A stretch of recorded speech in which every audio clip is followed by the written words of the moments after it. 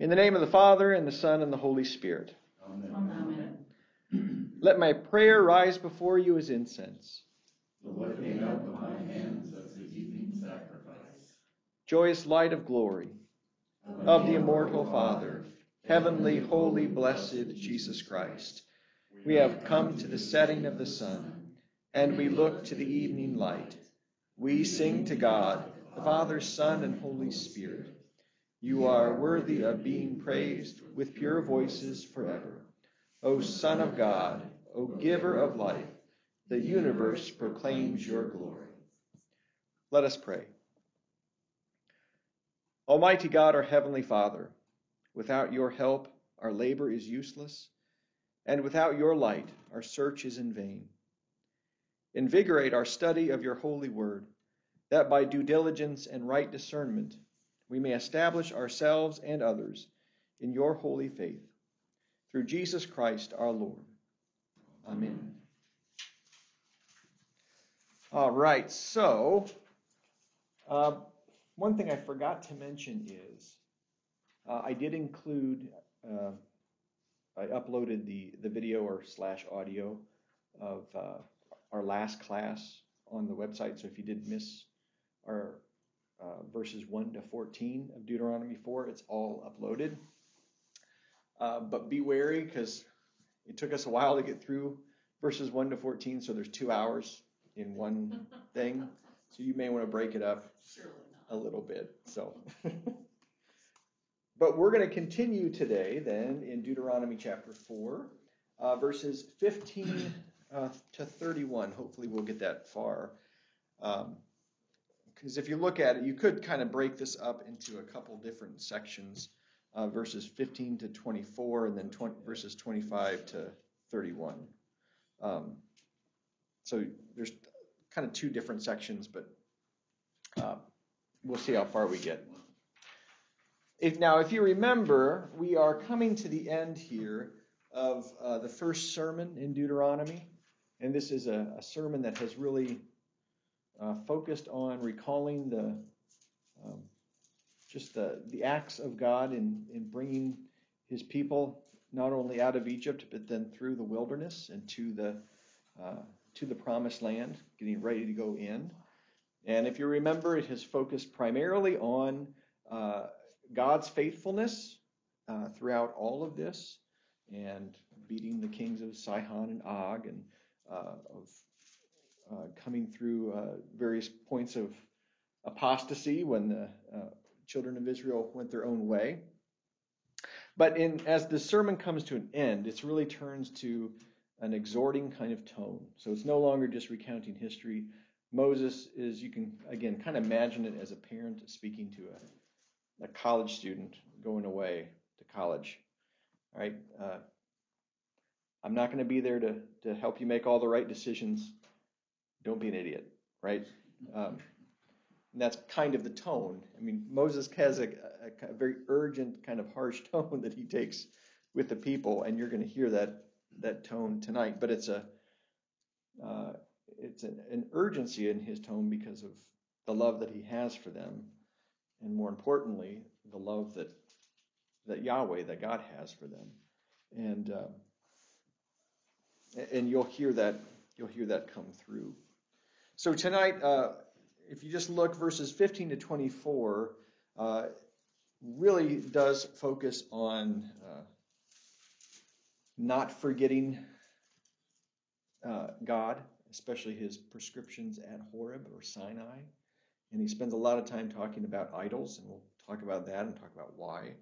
Um, and then verses, uh, the next part, verses uh, 25 to 31 it's a little bit of prophecy about uh, the scattering that's going to happen with the people, but just as importantly, the restoration that God is going to give in bringing them back together. So, you know, this is a, a, a little bit different kind of thing that happens at the end. But let's go ahead and begin with verses. Let's just take 15 to 24, uh, and uh, in that first chunk. And again, listen for anything that jumps out at you anything that uh, catches your attention. Deuteronomy chapter 4, beginning at verse 15. Therefore, watch yourselves very carefully, since you saw no form on that day that the Lord spoke to you at Horeb out of the midst of the fire. Beware lest you act corruptly by making a carved image for yourselves in the form of any figure, the likeness of male or female, the likeness of any animal that is on the earth, the likeness of any winged bird that flies in the air, the likeness of anything that creeps on the ground the likeness of any fish that is in the water under the earth. And beware lest you raise your eyes to heaven, and when you see the sun and the moon and the stars, all the host of heaven, you be drawn away and bow down to them and serve them, things that the Lord your God has allotted to all the peoples under the whole heaven. But the Lord has taken you and brought you out of the iron furnace, out of Egypt, to be a people of his own inheritance, as you are this day.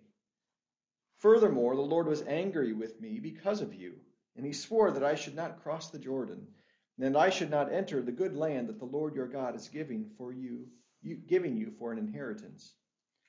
For I must die in this land. I must not go over the Jordan. But you shall go over and take possession of that good land. Take care lest you forget the covenant of the Lord your God, which he made with you and make, make a carved image, the form of anything that the Lord your God has forbidden you. For the Lord your God is a consuming fire, a jealous God. Here ends the first part of the reading.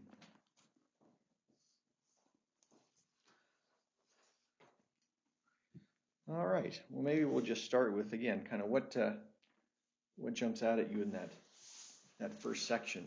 Anything strike you as strange or odd? God, God has emotions. Jealous God, angry God, merciful God. So just something you, you don't think of right away. Yeah. Yeah, and, and I know some people have trouble with, especially that language of anger or, or jealous, right? Because uh, a lot of times we associate that in a very pejorative sense, right?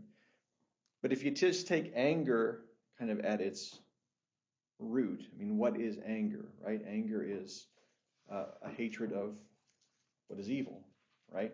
Or at least kind of what is a perceived evil. Right? Um, and for God's perception is always going to be right. So it's it's it's, it's hatred towards that what is evil. Or jealousy, you can only be jealous if you love something, right? Uh, and so even that jealousy is is born out of God's righteousness and his true character, which is love.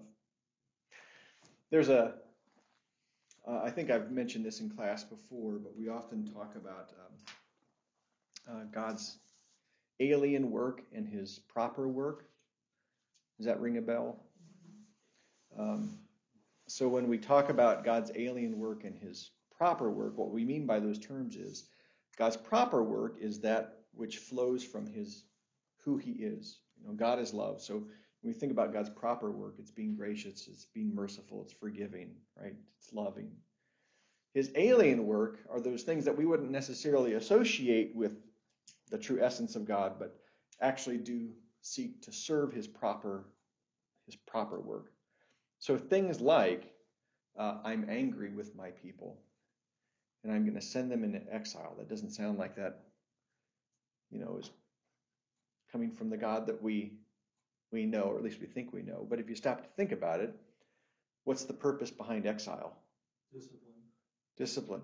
As a father disciplines children, right? So the whole point of exile is to bring about repentance so that people return to him. It's it's image of father and, and children, right?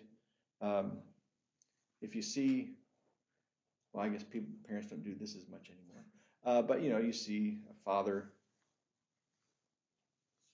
swatting the behind of his kid, right?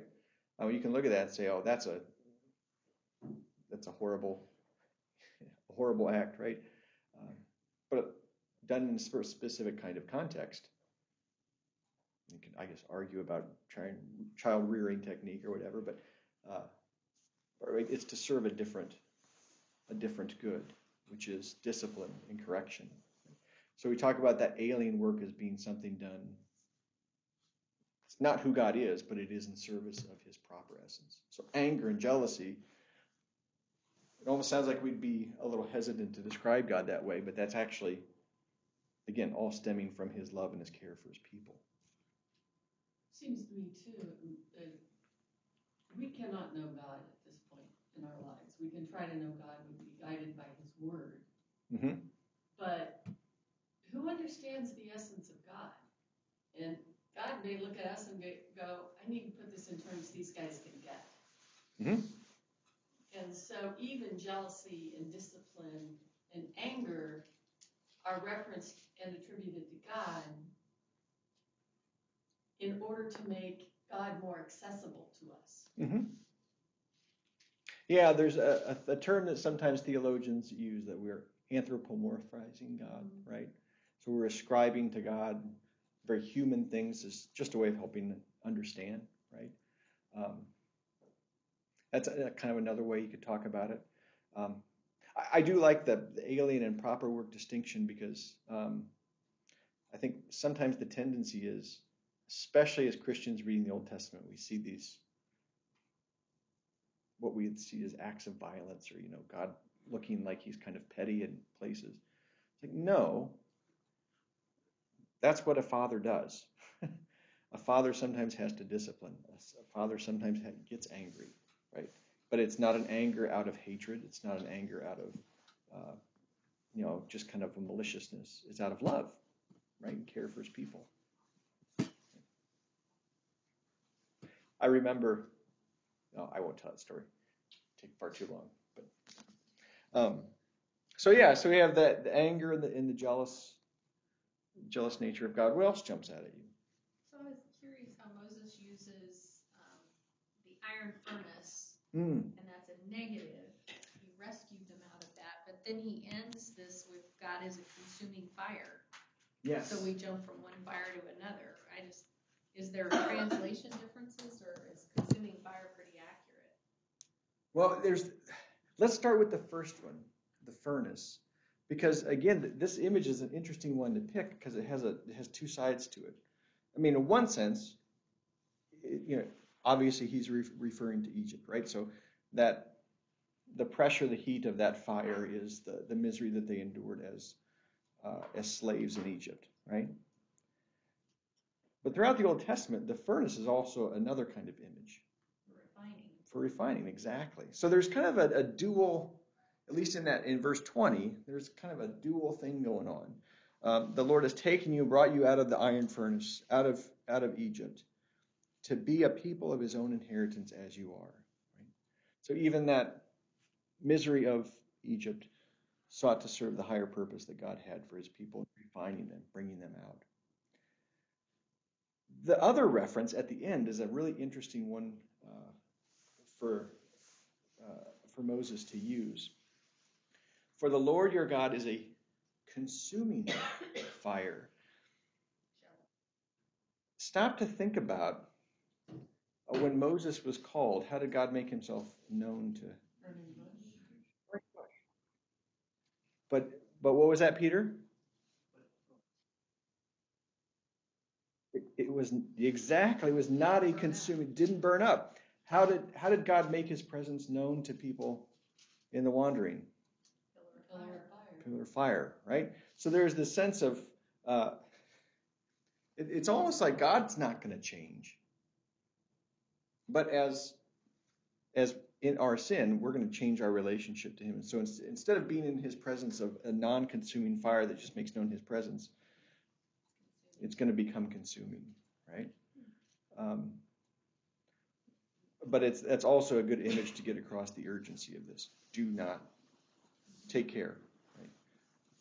Don't fall away because what we've seen as a, a symbol of God's presence and his power among us going to consume us if we turn away from the covenant. Does that get it kind of what you're yep. looking at with that? I don't, I don't, again, they're kind of, both images have two sides to them, a, a kind of a gospel image to it and a law image to it, right? Jerry, go ahead.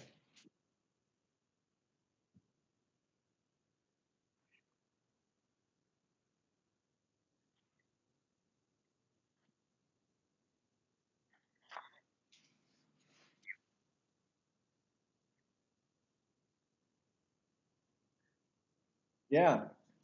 And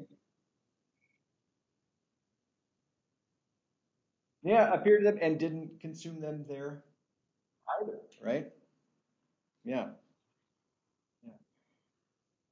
So good, good. And and Moses, a good preacher here, right? He's he's using an image to kind of form an inclusio at the beginning and end of, that section. Peter and Betty, go ahead.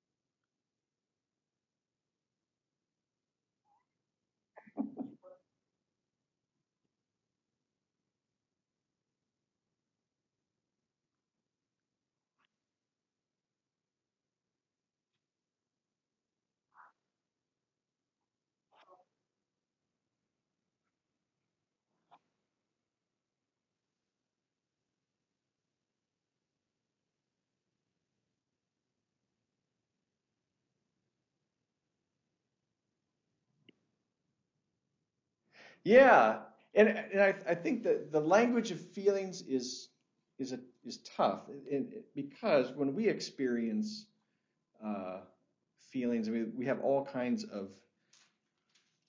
I mean, there's all kinds of mixed emotions bound up in our feelings, right? And some of them can be good, some of them can be rather self, self selfish and, and self-centered. I think the um, that language of jealousy um, and anger is really rooted back in what we looked at last week. Uh, take a look at, not last week, but um, a couple weeks ago. Take a look at verse uh, verses 3 and 4.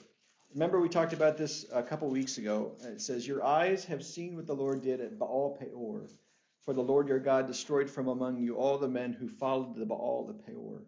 And remember, we looked at that story from Numbers, and what was going on in that story was uh, you had uh, actually Balaam who convinced the Israelites to go.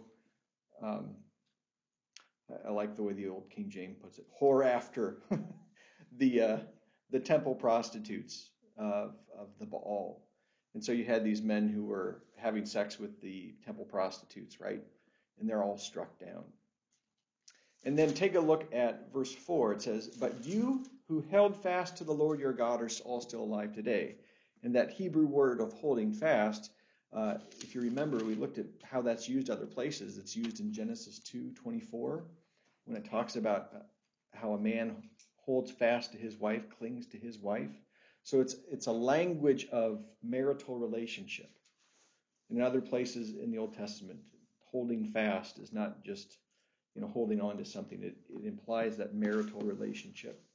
So when we get to down here where it says the Lord is jealous and he's angry, it's because idolatry uh, is, is a form of spiritual adultery, right? As God's people, we belong to him. So anytime we sin, uh, it's it's cheating on him. And as a as a husband to his people, right? We ought to belong to him. And so he's that jealousy comes from a place of you are mine, you know, I have I have redeemed you, I have won you, you are mine, brought you out of Egypt. In a sense, what you're doing is is uh, spiritual adultery in, in all of that. So that's kind of I think a good way to couch these feelings of anger and jealousy. It's not just kind of out of being slighted. Um, he actually has a claim on us that is real. Um, and it's not just in, in feeling, but in actual covenant language. But let's let's kind of piggyback on that, Betty, because he spends a lot of time talking about idolatry and idols. And I'm just curious. I mean, one of the questions I asked you to think about was, uh, see, where was that? Why was Moses so elaborate in his prohibitions of idolatry? Why do you think I mean, he goes on for quite a few verses, being very specific about uh, about idolatry. Why do you think he's so? Well, he got burned with golden calf for one thing. All right, there's there's been a precedent of of uh, of idolatry with the golden calf. Good. The first commandment and the effects of what happens when you fall away from Say that again. It's the first commandment and the effects of what happens when you fall away from it. Yeah. So it's we're going to see just in the next chapter as Moses re- reiterates the ten words. It's right at the beginning there. But also the effects of what's going to happen if you fall away. If you fall away, then what's going to happen? Uh, you're going to be consumed, right? So he knows the he knows the effects. Also think about where are they going? Into the land where there's gods of all You going, getting ready to go into the promised land. Remember, this is the parent talking to the college kid, right? You're going to go to a place. There's going to be a lot of stuff that you're going to have to watch out for. So you're going to go in the promised land. You're going to have all these different kinds of uh, of gods that are that are going to be there. And this is, I think, why we get the detail we do in verses 16 to 19. You don't make uh, any carved image for yourselves in the form of any figure, the likeness of male or female the likeness of any animal that's on the earth, the likeness of any winged bird that's in the air, the likeness of anything that creeps on the ground, the likeness of any fish that's in the water under the earth. And if you think about the history of Israel, um, in their time in Egypt, the Egyptian gods were largely personified by animals. So this is also probably a reference back to their time in, in Egypt of you had crocodiles and cats and eagles and yeah those were all the egyptian egyptian gods. And then 19 and beware lest you raise your eyes to heaven and you see the sun and the moon and the stars all the hosts of heavens and be drawn away and bow down to them. Especially uh, in the near east that's always been the uh, the temptation as well. But does this remind you of anything else? Genesis, it's all God's creation. Yep, almost in that exact order, right? Kind of going through it. And so there is in this, uh, So don't worship my creation. yeah, But rule over it. Yeah. There is this kind of, Don't get too full of yourself. don't get too, too full of yourself, right? There is always this temptation uh, to worship the creation over the creator. And that's what idolatry essentially is. This is um, Romans chapter 1. Go ahead and flip to that real quick. This is the charge that. Uh, that Paul levels against all, all people.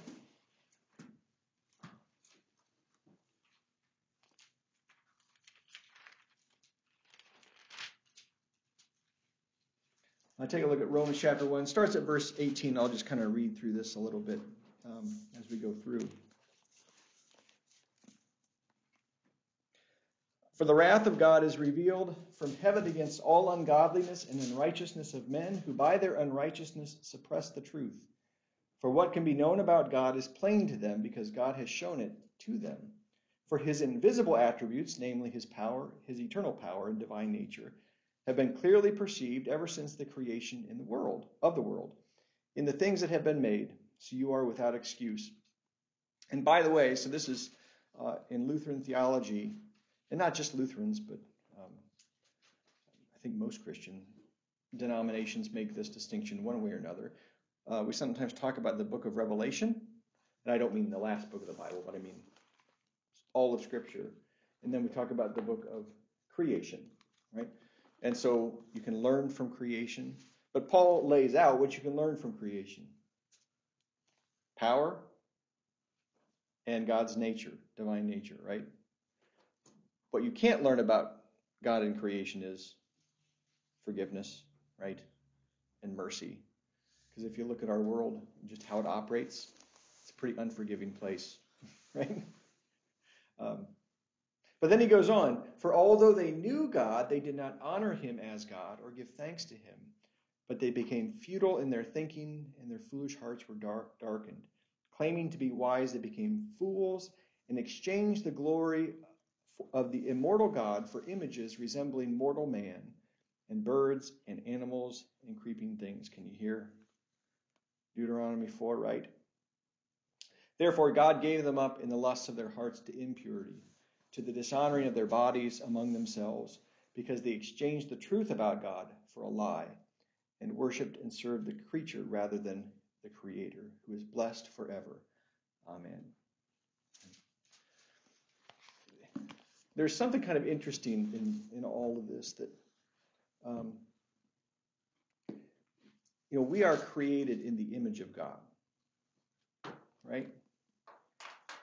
And part of being created in the image of God, uh, kind of historic Christianity has observed this. Part of what that image might be is this need and this desire to worship something. Right? And what happens in the garden is who did we worship? Who did we set up as, a, as an idol to worship? Satan. No? Knowledge of good and evil?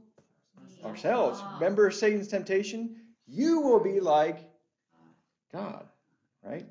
So, kind of from part of what idolatry is, it's not even so much that we're setting something before God, like something else before God. We are set setting ultimately ourselves before God. So that's why you have uh, idols that are made in the likeness and image of us, people, right? Um, and even if you go through the, the animals, right, the, all those things actually point to something back about ourselves. Um, another important thing to remember in all this talk about idolatry is the distinction that the Catechism makes.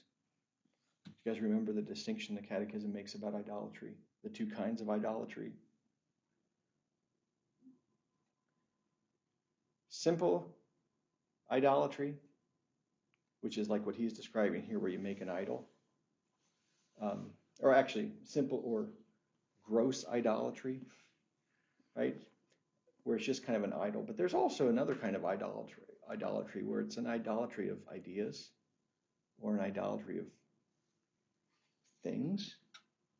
Remember what Luther says in his large catechism? What's the most dangerous idol in the world today? Money, right? Um, but your idol could be reputation. Your idol could be education. Your idol could be family, right? And as you stop to think about it, you know, all those all those kind of other idolatries, you know, again, it's just us. It's just us making an idol of ourselves and our wants and our desires and trying to shape God into what we want him to be. Okay. As an artist, this passage has always bothered me. Yeah. Don't make, you know, nothing of any living things. But we live in a cornucopia of images of living things and other things. But what I think, and I was looking here um, in the lesson, Whereas, like, um, when you see heaven and blah, blah, blah, all the hosts, sorry, God, um, and all the hosts of heaven, you be careful that you be drawn away and bound down to them and serve the things that the Lord your God has allowed to all peoples, right? That's that's like the real danger isn't in the image or the item itself. The real the, the real danger is our intent against those objects, worshiping selfies, worshiping, um, you know, making something and say you have power. This made thing made by mortal hands. Mm-hmm. Um, but would that be a, a reasonable way to look at it? That idolatry represents intent to give glory to something other than God, but the thing itself is not intrinsically wrong? Yes and no. And, and, the yes part is this. I mean, um, one one thing you do see throughout uh, Scripture, you see, you hear, see it in many kind of wonderful places in the Old Testament. That um, part of the critique that uh, the prophets give against idol- idols is that they're they're nothing. You know, uh, it- you'll see the prophets making fun of, hey, go ask your idol a question, see if he if he talks back to you right? Um, you know, and I think it's the prophet Isaiah who talks about when you worship these dumb idols, you're going to become just like them. You'll be hardened just like they are. You know, they're blocks of wood. You're going to be just like blocks of wood. Um, it, there's an old dictum: "You are what you worship." and so, if you worship things that are nothing, you're going to become nothing, right? Um, and St. Paul picks that up too when he talks in Corinthians about food sacrificed to idols. And part of what he says there is, I mean, part of his argument is, yeah, go ahead and you can eat it. I mean, apart from causing offense, because there are no there are no other gods, right? Those those gods don't exist, right? Um, but there is another sense in which um, we don't talk about this very much, but it's it's true. I mean, there there is a sense in which the the Old Testament idols, uh, I think you could make an argument were uh, kind of mediums of the demonic too. Because, for instance, I mean, you have for, like Pharaoh's magicians doing things, right? And Moses doesn't report it, report it as uh, they just did magic tricks and tricked them, right? That Moses, or I'm sorry, Pharaoh's magicians are actually doing something. They're having some kind of power. So you could also say uh, there may be cases where the idols actually are something. Um, but they're not gods, but they might be demonic right? I mean, if you have uh, Molech is one from the Old Testament. Uh, Moloch is uh, gets referred to uh, as the god that you would sacrifice children to. You could make an argument that's that's not nothing.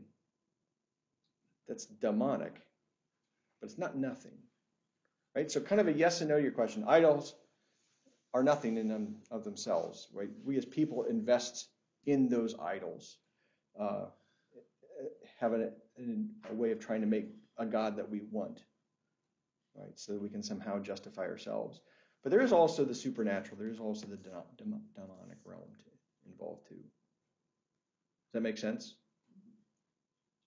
So, what about during their travel through the wilderness? The serpent on the stick. Yeah. Yeah. That's a hard mm-hmm one Mhm. to look to it They look to it to be saved.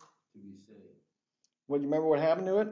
No, that's what I'm asking. Yeah. Jerry and I were just talking about it. Jerry. What what what happened to that?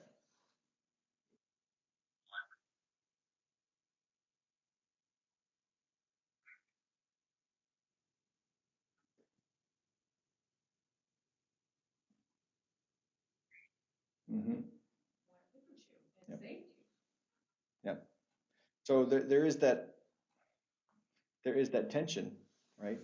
Of this is this was the means that got appointed at that time to be used, right?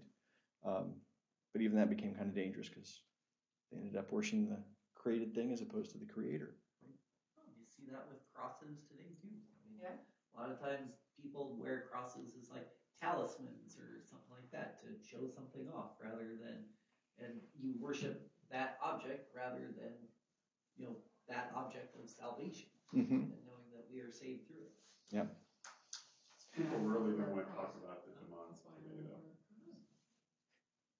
though. I think it's true though, right? I mean, there's something going on there. When you look, it's not just, yeah, yeah. But and and kind of going just a, a little kind of church history lesson too. This became a very live debate in the early church about images. This is the thing Jared and I were talking about today. Um, but there was a, a debate uh, that, that that happened in in the early church was actually pretty opposed to images um, too. And it, there was a debate a little bit later. It's kind of called the iconoclast controversy. And um, uh, the church basically, and I think, I like art, so I think they're right, um, that because Christ is the image of the invisible God, as Scripture teaches, right, we can in fact make images. Uh, again, not for worship, not to worship the image, but as a, as a way of kind of pointing beyond itself to the Creator. Uh, and there has always been kind of that tension in the church about that fine line between uh, using art as a way of proclaiming the gospel, uh, as a way of teaching people, and a more superstitious kind of use of those images or statues or things like that. Which kind of takes you back to in, intent and impact. You know, if the object itself is intended to have power of its own in some way. I mean, we went to Tibet, and we went to Potala Palace, and they had a, a Dalai Lama who died young, and so their answer was they made a room and they were gonna make, how many was it, ten thousand images of, of Buddha, and if they made enough, then the next, uh, Dalai Lama wouldn't die. Mhm. They just had to keep making enough Buddhas, and if, if he died, they didn't get enough Buddhas made in his lifetime, so, you know, that's, you know, talk, talk about twisting your head, you know, it's like, you just really believe that. Not relics in the old church. Yeah. Relics, uh, was that just a money grab? Um, so the question for those who, on, the- like, what about relics? Um, like a specific kind of question about, like, Well, idols, I mean, they, they're, they're close, I mean, it was close to idolatry. The Yeah. of the Does Well- tabernacle. Does it, everybody had to have a relic in there? right, and But it, was, it it's was- kind of a money. it was a money make, uh, there was wonderful lines that, there were more, if you took all the splinters from the cross, you could have made like a hundred crosses in, in Europe, or, you know, you could have rebuilt John the Baptist, you know, fifty times over from all the, the bones that were found and supposedly from John. Um, yeah, I mean, that's probably a good example of something that could actually have a fairly, you know, because having a relic, for instance, I mean, that should, it could communicate something very powerful. Um, you know, taking the, the events of the Bible and making them Real. right? And the reminder that these are historical things that God acts in history, and that, those can be really powerful reminders. It's when it's the, the kind of the the the the the line that Luther would take is when the use of those things go contrary to just God's word. So, for instance, um, even with something like Holy Communion, where we would say, this is certainly a sacred thing, right? It's made hallowed by, by God's word. You know, Luther saw in his own time people trying to sneak away with the host uh, so they could feed it to their cattle to cure disease, or you know, burying it in their house. Now, are they wrong? Are those people wrong in seeing this as a holy thing? No, it's a holy thing. Um, are they wrong in how they're using it? Yes, because what does Christ say? Take in, eat. He doesn't say take it and feed it to your cattle. He doesn't say take it and bury it in your house. Right? So the kind of the, the dividing line would be in how we're using an image or how we're how we're attending to a relic. Does it point us to or away from God's word and the revelation He's given us in Scripture? That would be kind of the, the litmus test. Right? Does that make sense? One place we went, they had a full body relic and they had a cloth and they had a window over the face with the cloth. And there were people lined up hundred and fifty deep behind and constantly they would go in, they would bow, they would kiss the glass over the relic's face, the saint's face, and they would go on praying. And that really bothered me. Yeah. Well, and it bothered Luther. I mean, Luther has made one trip to Rome in his life, and um, it wasn't a good experience. Uh, as he saw, you know, people essentially being swindled out of money, um, as he saw, as he as he saw it, kind of very crassly put, you know, if you do X, Y, Z, you know, go kiss this relic, then that is a, a type of propitiation made for time in purgatory, right? Those things all go. Peter's is spectacular It is. It is. It is. They spent that money well, um, very well. But um, but yeah, just kind of, and, and not just art, but you know, music, architecture, all of it can serve an incredibly powerful thing in pointing to the the beauty and the transcendence of God. It's when the focus gets lost and we focus on the created thing as opposed to what it's pointing to that it really gets problematic.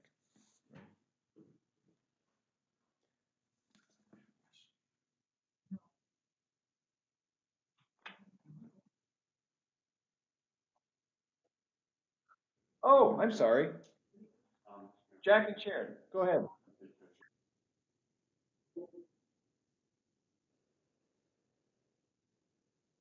Yeah, yeah, and it's going to come right, right. The next chapter, you're going to hit right back at the at, at idolatry, right? Because that's going to be the that's going to be the temptation. And we shouldn't fool ourselves into thinking, oh, we don't have id- we don't have statues, we're fine, right? We just have we have much more subtle idols today. Um, and if you don't think that you know images and, and can be idolatrous, um, I don't want to start a political debate, so please don't take it that way. But look at what happens if our flag is treated a certain way. What kind of emotions does that rouse in people, right? Um, positive or negative.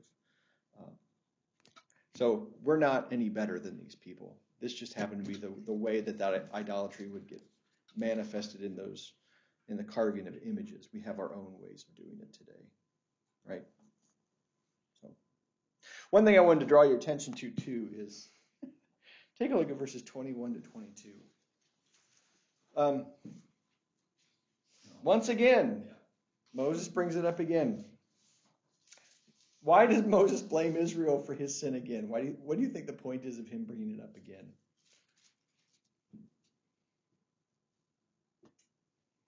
It's an example. I mean,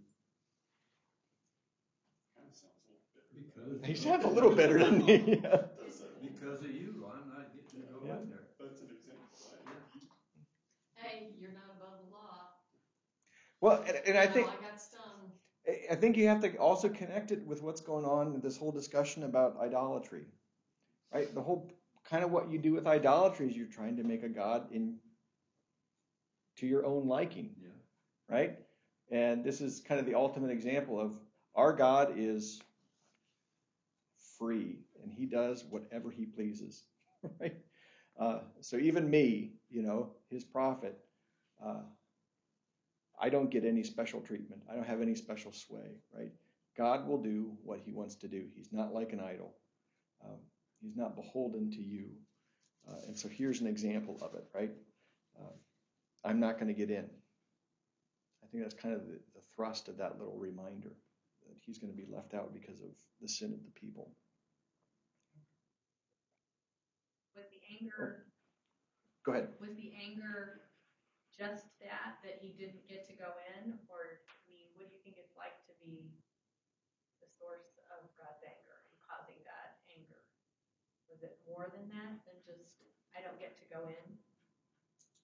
He's angry with me, so I don't get to go in, or was, did he get a talking to, or, I mean? Well, and, and I and I wouldn't even say I, I, he doesn't. I don't know if he's even stressing the anger here, uh, in the sense of like the punishment. I think part of the point is um, he is not bound by us, right? He is free to act according to his righteousness and his his word, which means um, I'm not getting in, right? Remember, anger is always for God. Anger is different Right. than our kind of anger. God's anger is always the rejection, the revulsion against sin, against evil, right? So it's righteous in that sense. Um, so I think that's kind of the point, right? God acts according and is faithful to, to his word, which means that even here, he's angry with me because I sinned against. Now you guys caused me to do it, but but he's being he's being true to his his word. Was this first they heard of that, that he was going to get to go in? No. No, he's brought it up. He- he first- This is like the yeah. second time. Yeah.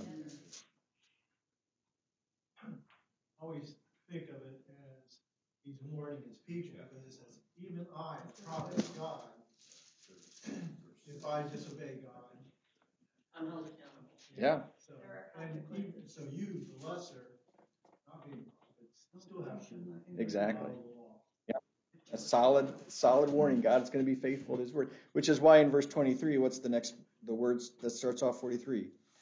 Take care lest you forget, right? And that forgetfulness is not just oh I don't remember what happened. It is uh, that kind of spiritual forgetfulness of chasing after after other gods. Gary, you were going to.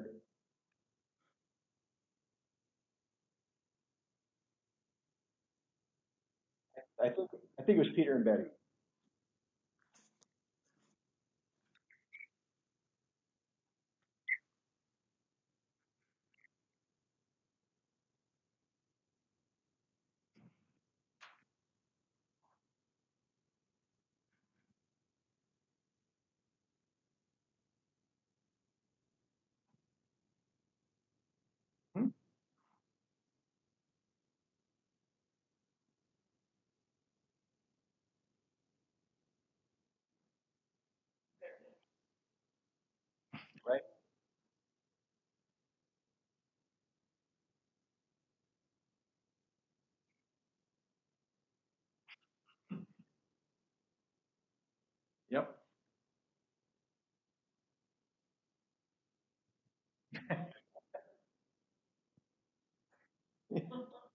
Yeah, that is a good point, Peter. Yes, and, and you're going to get that too at the end of.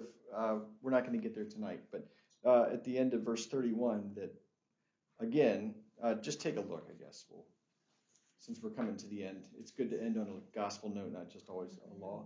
Um, um, but take a look at verses. Uh, oh, 28. Let's just kind of read through this very quickly.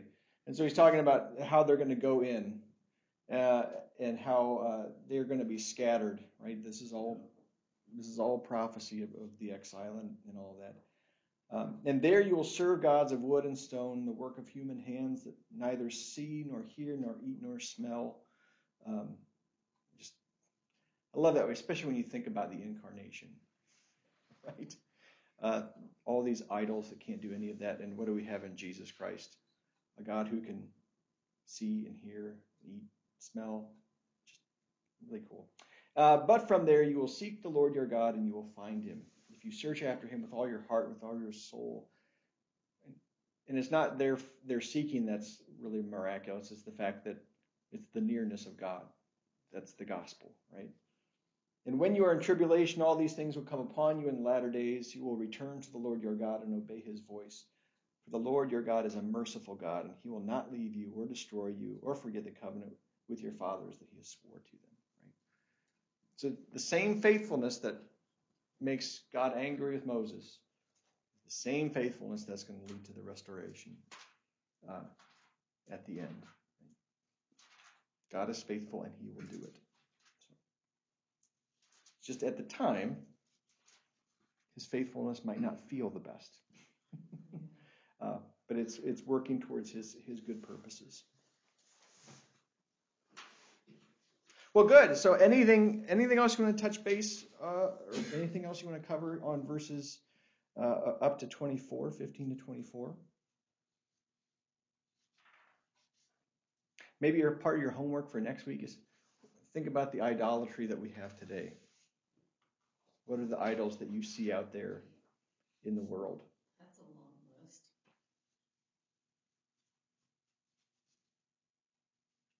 Maybe come see if you can narrow it down to top three. And so you think it's, you know, you, look at uh, in, in the Old Testament or in the ancient world how they'd have rooms full of gods, you know. Um, I think we, if we came up with an image for every one of our idols, we'd probably be able to fill those shelves pretty quick too. Google's gonna get a lot of hits on that. Good. Anything else? Have you Googled it, so you know you have the correct answer? I'll put it in Chat GPT. Have you guys seen this yet? Whose style are you gonna put it in? So there's an, an AI. Awesome. Yeah, right. There's an AI program called Chat GPT where you can ask it to do just about Lot anything. press. I mean, it's like Yeah, pass the Wharton. Um, Yeah. MBA. yeah. It passed all the med, all the med tests. hmm It's pretty medical wild. exams. You can just type a little thing, say, I mean, something silly. Write a song about Deuteronomy chapter 4, verse. You want me to do it right now? Okay. It'll freak people out. Yeah. Oh, yeah. It's a lot of fun. Um, Oh, so let's say let's write a country western uh, Oh. uh, write a country western song.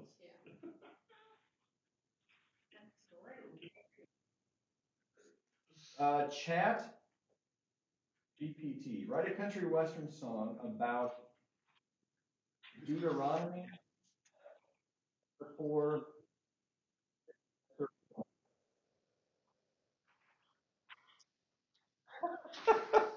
okay you ready?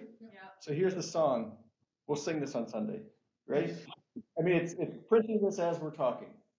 So this is a country western song based on our reading for tonight. Riding through the desert with the wind in my hair, the word of the Lord burning right, burning bright in my care. Deuteronomy 4, it's a verse I hold true, a reminder to always keep God's commandments too.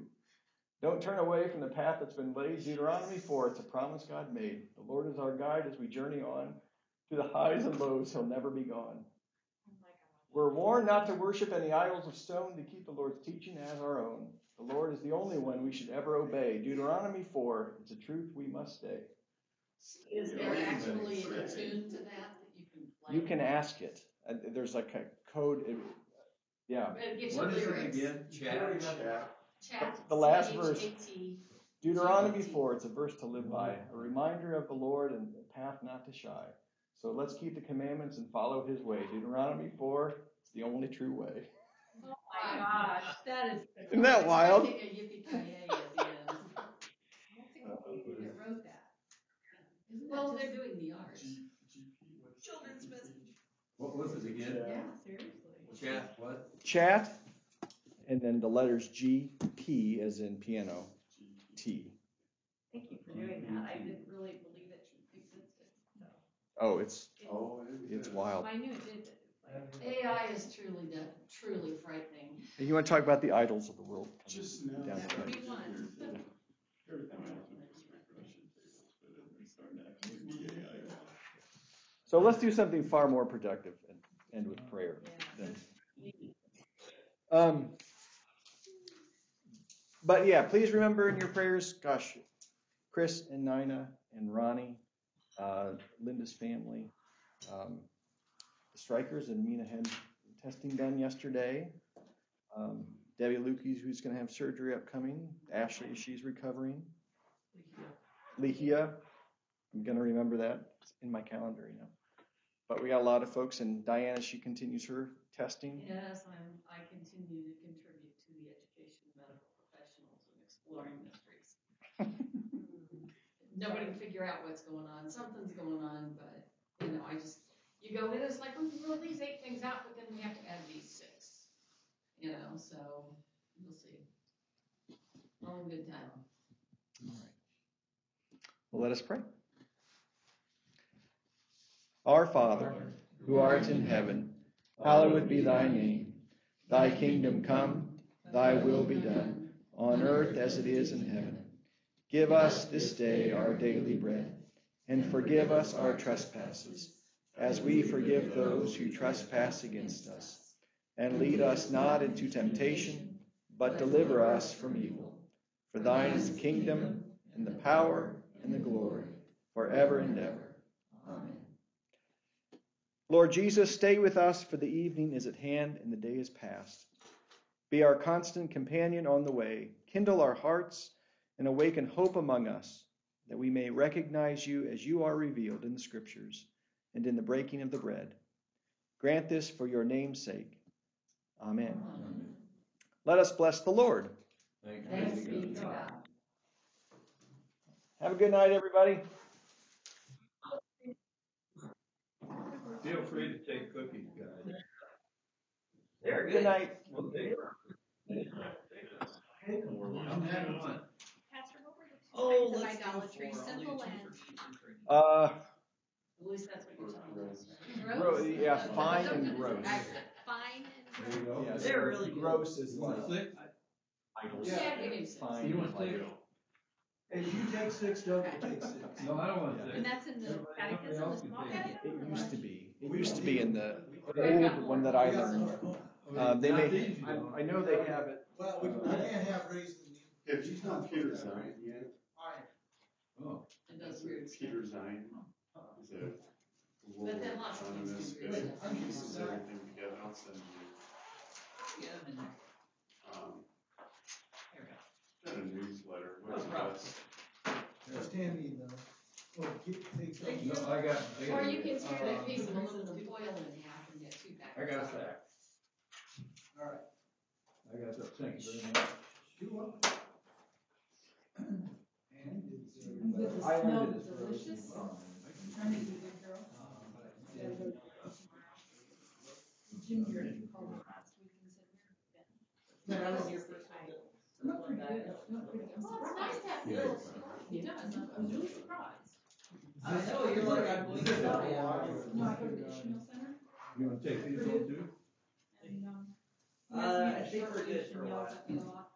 I appreciate you. Well, hey, I need someone, I'm not taking that, I just want Years ago, drop I in opened out. up the mail and I had a letter from my doctor and it was like, hey, I'm Take a cranberry. back and one of your goals is to. I got enough here Swallow for. your We got family, family 24 tradition more. of dying young. You're right on target. And, and you want some cookies? I can't remember where it is. You sure you are? Yeah, I already had a couple today, cheated already today. Unfortunately, they weren't. Good. You guys can take some No. cookies. Homer? No, sir. That's it. Yeah. Like I said, those are somewhat of an. Thomas and I were messing around with it the other day.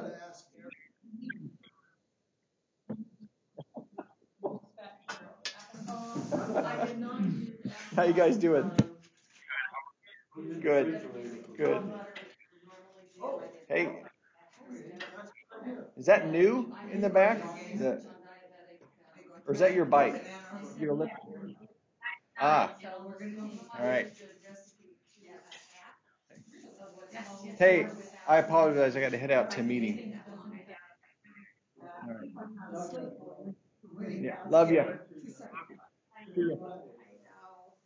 I'm having a hard time. I know, like I won't be able to stay away. I sent you, I sent you a I know. Rogan, he did a Rogan